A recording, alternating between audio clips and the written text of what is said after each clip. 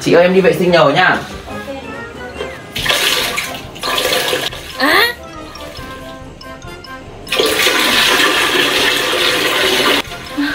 Rốt cuộc em uống bao nhiêu nước thế?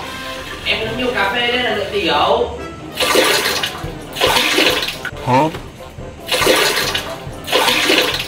Cái gì vậy bà nội?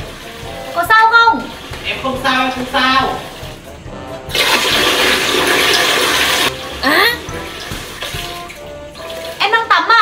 Em ra đây em ra đây.